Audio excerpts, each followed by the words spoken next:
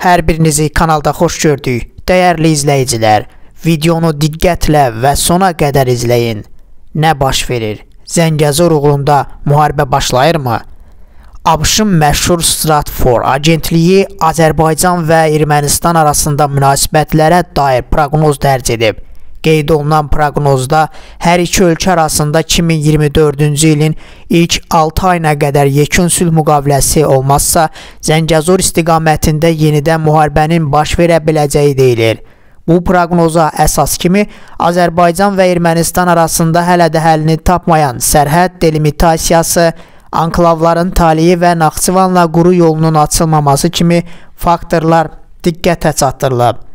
Mövzu ilə bağlı Yeni Sabahaza danışan hərbi ekspert Ədalət Verdiyev söz gedən proqnozun real göründüyünü qeyd edib. Düşünürəm ki, bu proqnozun doğruluq ehtimalı çox böyükdür. Çünki Ermənistan üzərinə götürdüyü öhdəliyi 3 ildən çoxdur ki, yerinə yetirmir. Həmin öhdəliklərin əksər hissəsini Azərbaycan ordusu 2023-cü ilin sentyabrında həyata keçirdiyi antiterror əməliyyatları ilə təmin etdi. Lakin yenə də bircə bəyanatda qeyd olunan Azərbaycanın Naxçıvanla iki tərəfli və maneəsiz hərəkətini təmin edən yolun açılmasına dair bənd belə desək, ölü nöqtədən tərpənməyib. Digər tərəfdən Azərbaycanın 8 kəndi hələ də Ermənistan işğalı altındadır. Belə olan halda Azərbaycan təbii ki, sonsuza qədər Ermənistan tərəfinin prosesləri ləngitməsinə səssiz qala bilməyəcək. Sülh sazişi imzalanmazsa, Ermənistan öz üzərinə götürdüyü öhdəlikləri yerinə yetirməsə, proseslərə məğlub tərəf kimi öz töhfəsini verməsə, təbii olaraq Azərbaycanın səbir kasasını daşıracaq. Bu daha əvvəllər də belə olub. Biz ölkə başçısının son çıxışlarında da bu mesajların yumşaq bir şəkildə səsləndiyinin şahidi olduq. Ekspert Azərbaycan və Ermənistan arasında həll olunmayan bir çox məsələnin bu ilin sonuna qədər tam həllini tapacağını deyib ya Ermənistan ya üzərinə götürdüyü öhdəlikləri yerinə yetirəcək, ya da bu öhdəlikləri Azərbaycan öz imkanları hesabına və bir tərəfli qaydada həyata keçirəcək. Amma heç bir halda bu proseslər 2025-ci ilə qalmayacaq. Düşünürəm ki, sərhəddə delimitasiya məsələsi uzun prosesdir və davam edən fazada olacaq. Digərləri isə digərləri üzrə isə real fəaliyyətlər və razılıqlar həyata keçiriləcək. Ermənistan silahlandırılır. İlk cəhddə ordumuz məhv edəcək. Prezident İlham Əliyev yanvarın 10-da yerli televiziya kanallarına müsahibəsində qeyd edib ki, Ermənistan mütəmadi olaraq silahlandırılır və bəzi ölkələr regionda gərginliyin qalmasında maraqlıdırlar. Dövlət başçısı qeyd edib ki, istənilən təhlükəyə qarşı adekvat cavab veriləcək. Mövzu ilə bağlı qlobal infoza danışan hərbi ekspert Üzeyir Cəfərov qeyd edib ki, Ermənistan zəifləyən ordusunu normal vəziyyətə gətirmək üçün bir sıra ölkələrlə əməkdaşlığa başlamağı qarşısına məqsəd qoyub. İran, Rusiya və Hindistandan silah tədarük edir.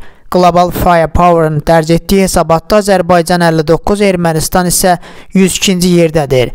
İrəvan da buradakı reytinqini yüksəltməyə çalışır. Yaxın bir neçə ildən sonra hətta müharibəyə başlamaq ehtimalı da az deyil. Burada isə əsas hədəflər Azərbaycan və Gürcüstan hesab edilir. Azərbaycan da ordusunu kadr və silah-sursat baxımından inkişaf etdirir.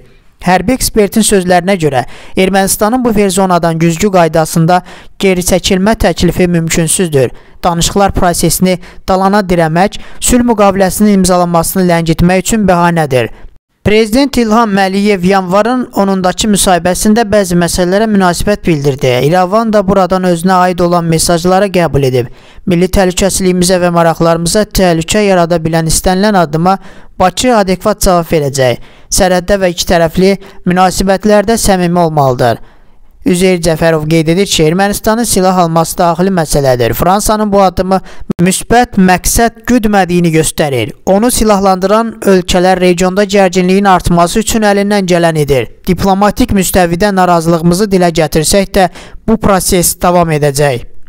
Biz tezliklə qisas alacağıq. Biz düşmənçilik və nifrət dövründə, xaos dövründə yaşayırıq. Təəssüf ki, bütün bunların generatoru ölkə hakimiyyətidir. Çünki fərdlər öz dar mühitini keyfiyyət dəyişdirə bilirlərsə, idarəçilər cəmiyyətin keyfiyyətini dəyişirlər. Konkret az xəbər verir ki, bu fikirləri Erməni Apostol Kilsəsinin Tavuş yeparxiyasının rəhbəri Arxiyepiskop Baqrat Qalstanyan 168 telekanalının Abzor verilişinin efirində deyib. Bu gün cəmiyyət üçün nə müəyyən edilirmi? Heç nə. Bu gün yoxluq siyasəti aparılırmı?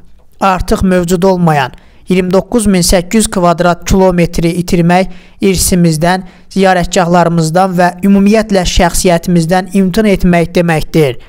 Onun sözlərinə görə biz elə bir mərhələyə gəlib çatmışıq ki, əvvəlki 30 illə müqayisədə indiki iqtidarın dövründə başımıza çox faciələr gəldi. Biz azadlığımızdan, İstiqlal bəyannaməsindən yaşamaq hüququnun bərqərar olmasından, öz vətənimizin azad edilməsindən danışırdıq. İndi bir fəlakətdən, insan və ərazi itkilərindən, sonsuz təhlükələrdən danışırıq. Buna görə də təslim oluruq. Həyatımızda başqa seçim yoxdur.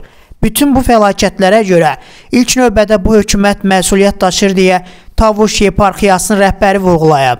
Baqrat Qalstanyan hesab edir ki, vəziyyəti cəmiyyətin seçilmiş təbəqəsi ixtisaslı azlıq dəyişəcək.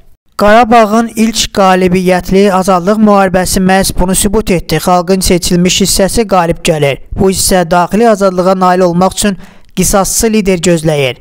Bununla mübarizə apara biləcək yeganə səngər kilsədir. Qisas azad olmaq, daxili azad olmaq, yenidən doğulmaq deməkdir. Axı bizim itirilmiş ziyarətgahlar qarşısında məsuliyyətimiz var. Mən qisas olacaq deyəndə erməni dilli və xarici dilli düşmənləri nəzərdə tuturam. Unutmayın, Ermənistan hakimiyyəti heç bir revanş olmayacağını bəyan etmişdi, ancaq bunun baş verməyəcəyini kim söyləyir? Mənim belə bir öhdəliyim yoxdur. Arxiyepiskop Baqrat Qalstanyan bildirib. Fevraldan pensiyalar bu qədər artır. Başqa artımlar da gözlənir. Hökumətin pensiyaları 10.8% artırmağı planlaşdırır. Orta aylıq əmək haqqının nə qədər artacağı isə daha dəqiq fevral ayında bəlli olacaq. Bəzi ekspertlər hazırki iqtisadi reallıqda həmin rəqəmin yetərli olmadığını deyirlər.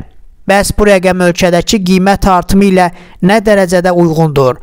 Mövzunu qlobal infoza şərh edən iqtisadçı Natiq Cəfərli deyib ki, pensiyaların artması qanunla tənzimlənir. Onun sözlərinə görə qəbul olunan qərara əsasən Azərbaycan Respublikasında orta aylıq əmək haqqının artım tempinə uyğun olaraq indeksləşmə aparılır. Minimum pensiya bu ildə artırılacaqmı? Qlobal İnfaz xəbər verir ki, bunu Dövlət Sosial Müdafiə Fondunun idarə heyətinin sədri Himalay Məmişov 2023-cü ildə görülmüş işlərə dair keçirilən mətbuat konfransında deyib. O bildirib ki, indeksləşmə yanvarın 1-dən hesablanacaq və artım fevral ayının pensiyasında vətəndaşlara veriləcək. Mütəmadi olaraq Pensiyalar artırılır. Dövlət başçısının tapşırığında bu istiqamətdə mesaj var. Minimum pensiyanın bu ildə artırılacağı gözlənilir.